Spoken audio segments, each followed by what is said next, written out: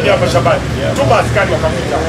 Operation Tokomeza Vibaka na matukio mbalimbali inayoendelea kufanywa na jeshi la polisi mkoani Njombe, ikiwa ni utekelezaji wa majukumu yao ya kila siku, imefanikiwa kuwatia nguvuni watuhumiwa wanaodaiwa kujihusisha na matukio ya wizi ndani na nje ya mkoa wa Njombe.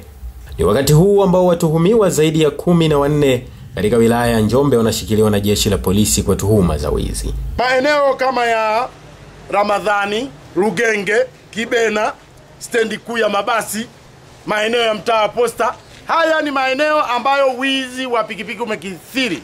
Wale wote waliokuwa wameibiwa pikipiki, tunawasihi waje kuzitambua hizi pikipiki hapa. Kamanda Hamisi Isa anasema baada ya msamaha wa Rais Magufuli kutolewa kwa wafungwa mjini Makambako kumetokea matukio mbalimbali mbali ya uvunjaji wa nyumba na kuiba, hali iliyopelekea jeshi la polisi kuanzisha operation maalum ya kuwabaini wahusika siku ya tarehe 22 mwezi Januari mwaka 2020.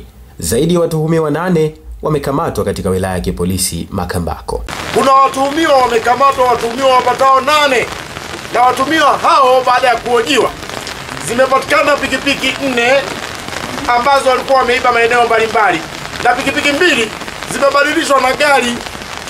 Hiyo, gari nyeupe hiyo aina ya Karina.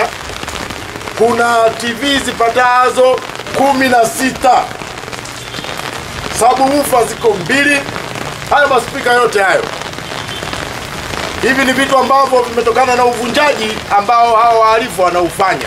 Mtazamaji wa Star TV, hapa tulipo ni kituo cha polisi Makambako. Lengo kubwa la kufikisha hapa pia ni kuendelea kuonesha jinsi ambavyo jeshi la polisi linaendelea kupambana katika kuhakikisha kwamba wanaendelea kukomesha kama si kumaliza kabisa matukio ya wizi na uhalifu ulioko mtaani. Karibu uweze kushuhudia baadhi ya vitu ambavyo vimeweza kukamatwa na jeshi la polisi hapa mjini Makambako. Kuna visu, naona visu kama hivi hivi ni visu ambavyo wanavyo hawa wahalifu. Hizi spana mbalimbali na hizi buti hapa ni buti ambazo zinauzwa, lakini jeshi la polisi wao wanatumia na mikanda kabisa kama hii. Hii ni mikanda ambayo unaweza ukakuta kampuni za ulinzi zinayo, na hapa ukiangalia kuna ma TV.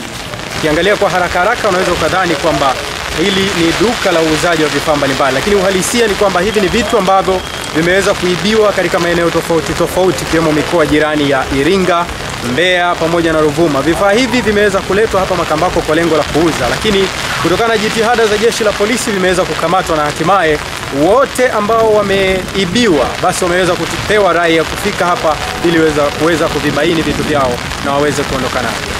Dickson Kanyika, Star TV.